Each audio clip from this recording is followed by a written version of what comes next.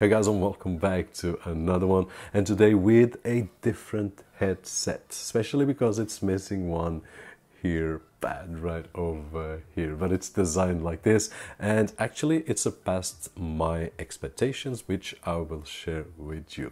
My first question was in terms of the comfort not on this side because I knew that it would be comfortable. It is padded and we have two choices by the way but i will share in just a few moments. But i was with the doubt on this side. Will it be comfortable or not? And it is. In terms of build quality on the overall it's really comfortable especially here because it has this big hair pad which will cover my hair but here it's made of these this rubber right over here. Even if i do this no worries at all. So comfortable.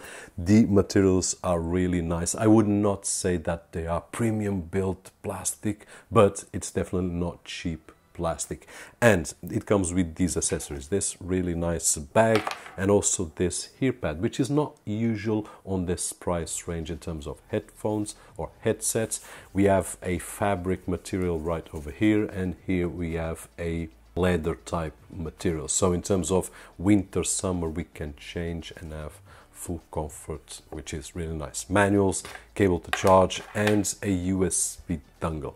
This USB dongle, it's interesting because it will allow us to connect to any computer without having to connect to Bluetooth just by plugging in and we are ready to go. We can also connect via Bluetooth and of course you can check all the specifications down below but Bluetooth will give us 10 meters while the dongle will give us 30 meters to the computer. This having no obstacles and we can also connect to dual devices. I can connect to my phone and to my computer simultaneously and then use on my phone and use on my computer. So depending on the usage, this is really a awesome uh, addition which I do believe that brings value to the product. In terms of battery, they are large. They have a 40 millimeter driver and space enough to put a 500 milliamp battery. So we are talking about 30 hours of conversation, which is the fastest way to deplete the headphones.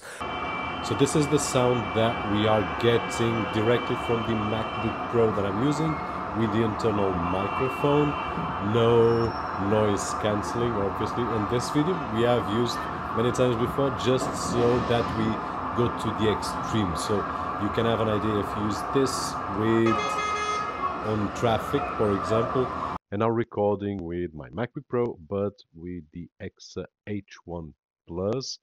The video is still paused so no background noise whatsoever so that we can have an idea of the audio quality that we will send to that side when we are doing a video call or if we are answering a call from our phone probably driving our car or truck because these are targeted at trucks. Now let me start playing these noises which are active right now and try to understand if there is a difference in terms of audio quality, which usually there is, but to try and understand what kind of sounds does it block.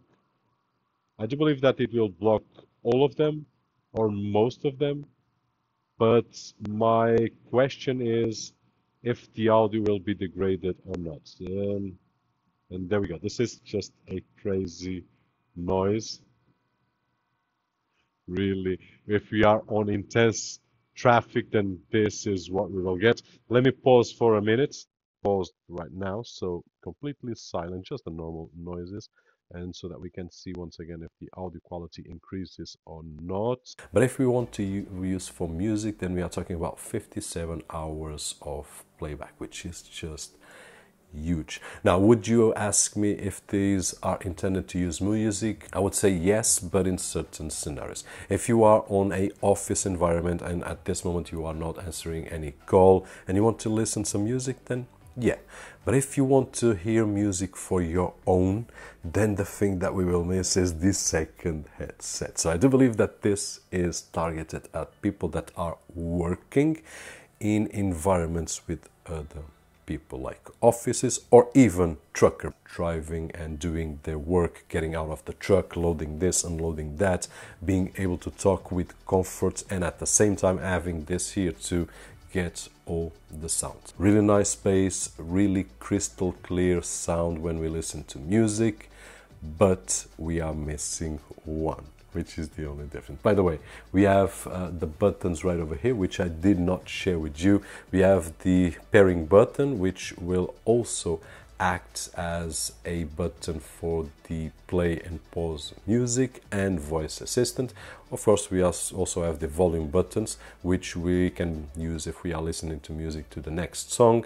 And we have the microphone button, which will mute the microphone. Who is this for? Someone, obviously, that it's working in an environment with other people and with noise around, wants to keep comfort because they are comfort and wants to have a ear really open. We have seen a lot of systems with noise cancelling, ambient um, pass through, and whatnot.